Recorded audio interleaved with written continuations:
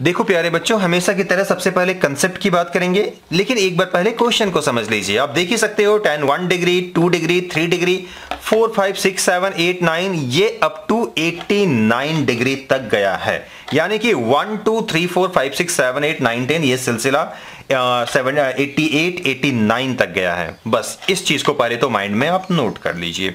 और इसे आपको वन के इक्वल साबित करना है, जो हम काफ़ी आसानी से कर लेंगे। एक बार बस कंसेप्ट को आप समझ लीजिए। अब उसके बाद हमने क्या किया है? इस चीज़ को एक बार आप देख लो। हमने काम ये किया है कि वन के साथ हमने 89 डिग्री को रखा है। टू के साथ इससे पहले क्या होगा? ऑब्वियसली 88 होगा। तो उन दोनों को हमने साथ में रखा है।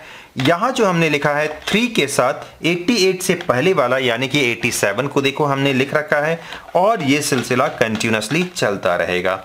और बीच में आप देखोगे 45 आ रहा है। इसको थोड़ा सा आप इमेजिन करके देखो, जितना आप ज़्यादा इमेजिन कर सकते हो। अब वन से लेकर के 89 तक लिखोगे तो ये काफ़ी ज़्यादा बड़ा हो जाएगा।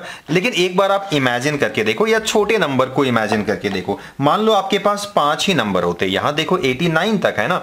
यहाँ पाँच ही नंबर होते। अच्छा देखो ये छह लेके ट्राई मत करना, क्योंकि यहाँ एक ऑड नंबर है तो यहाँ आप ऑड ही लेना। तो पाँच लेना या सात लेना या फिर तीन लेना, ठीक है? अगर चार छह ले लोगे तो फिर दिक्कत हो जाएगी आपको। तो ये पाँच नंबर्स है मान लो। तो यहाँ मिडिल में कौन आ रहा है? तीसरा वाला आ रहा है ना? तो उसी तरीके से थोड़ा सा अगर यहाँ गौर करोगे तो आपको आसानी से बातें समझ में आ जाएगी कि बीच में 45 आ रहा होगा। वन से लिख करके देख सकते हो आप 89 तक। ठीक है?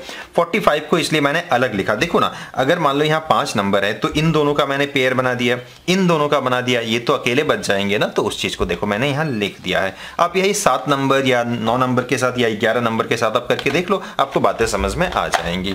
ठीक है? अब इसके बाद क्या कंसेप्ट है? ये देखो। अब कंसेप्ट की बात करते हैं। कॉम्प्लीमेंट्री एंगल्स के बारे में आपने पढ़ा होगा और उसके हिसाब से रिलेशन ये होते हैं। देख लो sin cos and cot sec cosec सबके लिए होता है, लेकिन फ़िलहाल हमें इन दोनों से लेना देना है। तो ये देख सकते हो cot 90 minus theta equal to tan theta होते हैं और सिमिलरली ये वाले होते हैं। इन दोनों का आपको आइडिया ऑलरेडी होना चाहिए। नहीं जानते हो तो अब देख लो।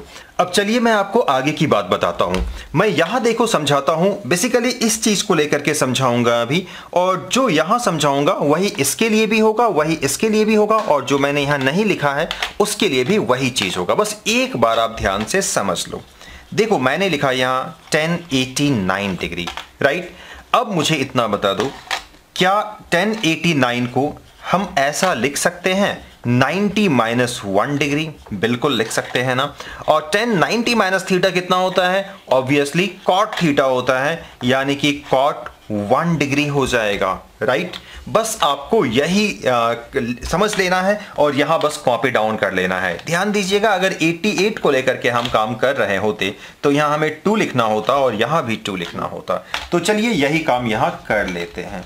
Tan one degree into cot one degree similarly यहाँ आ जाइए अब।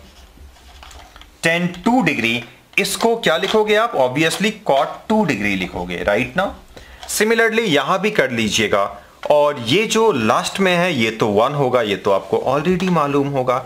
अब इसके बाद आई होप आपको ये भी पता होना चाहिए कि साइन और कॉस कॉसेक की जो प्रोडक्ट होती है, वो वन होती है। सिमिलरली कॉस और सेक इसकी प्रोडक्ट वन होगी। और इन दोनों की भी प्रोडक्ट कितनी होगी? वन होगी। तो obviously tan one degree into cot one degree इसकी वैल्यू वन इन दोनों की प्रोडक्ट की वैल्यू ऑब्वियसली वन सिमिलरली आगे वाले ऐसे हर एक पेयर के लिए जो मतलब कि दो साथ में लिखे होंगे, उन सब के लिए वन वन और वन ही होंगे। और वन को आप जितने भी बार चाहो मल्टीप्लाई कर लो रिज़ल्ट तो हमेशा वन ही आएगा। और इस तरीके से हमने इसको आर एच एस के बराबर साबित कर दिया। तो देखा प्यारे बच्चों, ये कितना आसान था, लेकिन एक चीज़ बताना चाहता हूँ कि अगर आपको छोटी छोटी बातें याद नहीं है जैसे कि मैंने यहाँ कुछ रेसिप्रोकल रिलेशन वगैरह यूज़ किया तो घबराने की कोई ज़रूरत नहीं है। इस चैप्टर को लेकर के बिल्कुल डेडिकेटेड वीडियो बना हुआ है। आप चाहो तो उसे भी विज़िट कर सकते हो। फुल लेंथ वीडियो बना हुआ है। एक एक चीज़ बिल्कुल बिगनिंग से मैंने वहाँ समझाया है। तो सारी बातें आपको समझ में आ जाएगी अगर उस वीडियो को आप वॉच कर लेते हो। तो फिर चलिए प्यारे बच्चों, फ़िलहाल के लिए इस वीडियो में इतना ही। मिलते हैं फिर किसी वीडियो में। तब तक अपना ख्याल रखिएगा। Thank you